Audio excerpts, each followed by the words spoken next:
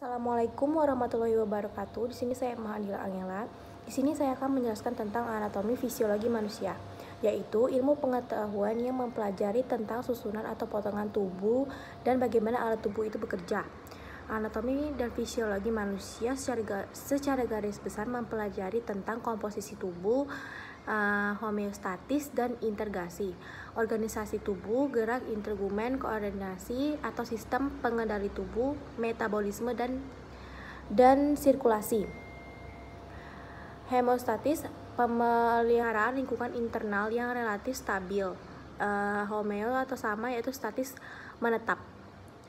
Cairan tubuh, cairan tubuh merupakan sarana untuk uh, mentransport zat makanan dan metabolisme membawa makanan uh, nutrien mulai dari proses aborsi mendistribusikan sampai ke tingkat intraseluler. Uh, sekitar 60% tubuh manusia adalah cairan. Cairan yang terdapat dalam sel tersebut cairan intraseluler. Sekitar sepertiga cairan terdapat di luar sel dan dinamakan calon ekstraseluler yaitu terdiri atas cairan intersial dan cairan intra intravaskular. Cairan yang ada dalam tubuh manusia yaitu menjadi satu cairan ekstrakuler, cairan intraseluler 67% sistem tubuh dan hemeostatis. Salah satu faktor e, lingkungan internal yang harus dipertahankan secara hem homeostatis. Salah satu faktor lingkungan internal yang harus uh, dipertahankan secara homeostatis yaitu satu konsentrasi molekul zat-zat gizi, kedua suhu, tiga volume dan tekanan. Ke, uh, untuk menjaga homeostatis diperlukan aktivitas berbagai sistem tubuh. Ada 11 sistem tubuh utama yang men menyumbang homeostatis, uh, yaitu salah satunya sistem sirkulasi. salah satu sistem yang menyumbang homeostatis. Selanjutnya yaitu organisasi sel. Uh, tubuh manusia terdiri atas empat tingkat organisasi yaitu organisasi tingkat sel, jaringan, organ, dan sistem organ. Uh, organisasi tubuh manusia tingkat kimia, sel, jaringan, organ, dan sistem organ. Keterangannya yaitu ada ion, molekul, makromolekul, organel, sel, jaringan, organ, dan sistem organ. Salah satu fungsi dasar sel yaitu mendapatkan makanan dan oksigen dari lingkungan di sekitar sel, uh, mengontrol perubahan ekstrim zat yang ada di dalam dan di luar sel, melakukan reproduksi. Bagian-bagian sel itu meliputi satu dinding sel atau selaput sel, dua protoplasma, tiga inti sel. Jaringan dasar tubuh yaitu jaringan epitel, jaringan pengikat. Selanjutnya saya di sini akan menjelaskan tentang sistem integumen. Di dalam itu yaitu ada kulit. Kulit adalah organ tubuh yang terletak pada luar, terletak paling luar dan membatasi dari lingkungan. Kulit merupakan organ esensial dan vital serta merupakan cermin kesehatan dan kehidupan. Struktur kulit sangat kompleks, elastis, dan sensitif, serta bervariasi pada keadaan iklim, umur, seks, ras, dan lokasi tubuh. Struktur kulit tersusun tiga lapisan utama, yaitu lapisan epidermis, lapisan dermis, lapisan subkutis atau subdermis. Epidermis terdiri dari stratum corneum, stratum lucidum, stratum granulosum, stratum spinosum, dan stratum basalis. Epidermis tersusun atas lapisan tanduk atau lapisan corneum dan lapisan malpighi. Lapisan corneum merupakan lapisan kulit mati yang terdapat ngelupas dan digantikan oleh sel-sel baru. Di sini ada dermis, yaitu lapisan ini jauh lebih tebal daripada epidermis, terbentuk oleh jaringan elastik dan fibrosa padat dengan elemen seluler, kelenjar, dan rambut sebagai adnexa kulit. Dermisi terdiri satu pars papilaris, yaitu bagian yang menonjol ke dalam epidermis, berujung tersebut saraf dan pembuluh darah. Yang kedua ada pars reticularis, yaitu bagian bawah dermis yang berhubungan dengan subkutis. Dasar lapisan dermis ini terdiri atas cairan kental, asam hyaluronat, kondrotin, sulfat, dan sel-sel fibro, yaitu selanjutnya ada pembuluh darah. Lapisan dermis sangat kaya dengan pembuluh darah yang memberi nutrisi penting untuk kulit, baik vitamin, oksigen maupun zat-zat penting lainnya untuk metabolisme sel kulit. Selain itu, pembuluh darah juga bertugas mengatur suhu tubuh melalui mekanisme proses pelebaran atau dilatasi pembuluh darah. Lapisan subkutan. Lapisan ini merupakan uh, kelanjutan dermis terdiri atas jaringan ikat longgar berisi sel-sel lemak di dalamnya. Sel lemak merupakan sel bulat dan besar. Yaitu selanjutnya ada kelenjar pada kulit. Terdapat di bagian dermis terdiri atas kelenjar kering dan kelenjar sebasea. Maaf, kelenjar keringan. Kelenjar keringat glandula sudorifera ada dua yaitu kelenjar ekrim uh, yang kecil-kecil terletak di dangkal dermis dan kelenjar aporkin yang yang lebih besar terletak lebih dalam. Struktur kulit berdasarkan ketebalannya, kulit dibedakan menjadi dua yaitu kulit tipis dan kulit tebal. Kulit tipis yaitu kulit yang menutupi bagian besar permukaan tubuh dan kulit tebal menutupi telapak tangan dan kaki.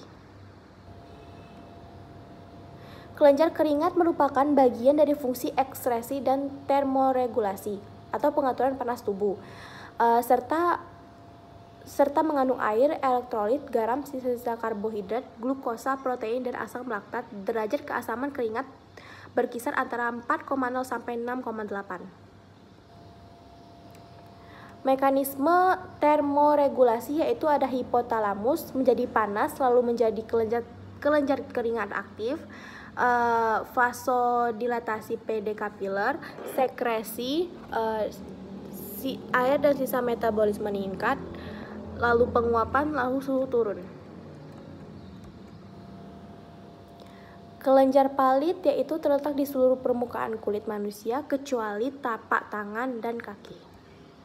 Kelenjar cerumen, ceruminose terdapat pada telinga luar di mana kelenjar keringat berubah menjadi kelenjar cerumon, ceruminose.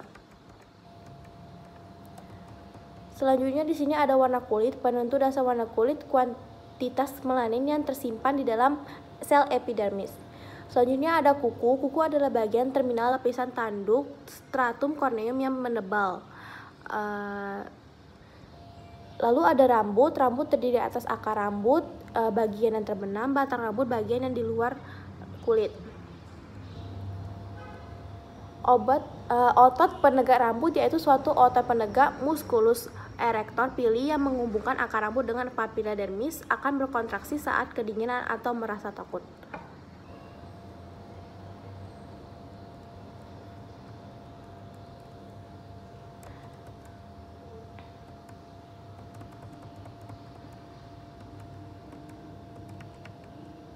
Fisiologi kulit, uh, fungsi proteksi gangguan fisik dan mekanik dengan adanya bantalan lemak subkutis uh, fungsi Fungsi ekspresi emosi yaitu kegembiraan dapat dinyatakan oleh otot kulit muka yang relaksasi tersenyum. Kesedihan yaitu diutarakan oleh kelenjar air mata yang meneteskan air mata. Ketegangan dengan otot kulit dan kelenjar keringat. Ketakutan kontraksi pembuluh darah kapiler kulit sehingga kulit menjadi pucat. Selanjutnya di sini saya akan menjelaskan tentang sistem muskuloskeletal. Sistem muskuloskeletal yaitu otot muscle, jaringan tubuh yang berfungsi mengubah energi kimia menjadi uh, kerja mekanik sebagai respons tubuh terhadap perubahan lingkungan. Rangka atau skeletal bagian tubuh yang terdiri tulang, sendi, dan tulang rawan kartilago sebagai tempat menempelnya otot dan memungkinkan tubuh untuk mempertahankan sikap dan posisi. Fungsi sistem rangka yaitu penyangga, berdiri tubuhnya, berdirinya tubuh, tempat melekatnya ligamen-ligamen, otot, jaringan lunak dan organ. Penyimpan mineral atau kalsium dan fosfat dan lipid yellow marrow. Produksi sel darah red marrow, pelindung yaitu membentuk rongga, melindungi organ yang halus dan lunak. Penggerak yaitu dapat mengubah arah dan kekuatan otot rangka saat bergerak adanya persendian. Tulang tersusun atas yaitu osteoblast, sel tulang muda yang membentuk osteosit. Osteosit sel sel tulang dewasa, osteoprogenitor merupakan sel khusus, osteoklas merupakan sel yang berkembang dari monosit dan terdapat di sekitar permukaan tulang. Rangka apendikular yaitu ada tulang lengan atas, tulang pengumpil, tulang hasta, tulang pergelangan tangan, tulang telapak tangan, tulang jari tangan yaitu tulang anggota gerak atas. Kalau tulang anggota gerak bawah yaitu tulang paha, tulang tempurung lutut, tulang betis, tulang kering, dan tulang pergelangan kaki, tulang telapak kaki, dan tulang jari kaki. Sendi ya, sendi yaitu umumnya ada tiga macam persendian yaitu sendi gerak diartrosis, sendi kaku amifiar, amifiartrosis, dan sendi mati sinatrosis. Gangguan pada, pada rangka yaitu fraktura, rakitis, tulang yang mengalami osteoporosis, tulang normal, uh, skoliosis, kifosis, dan lordosis.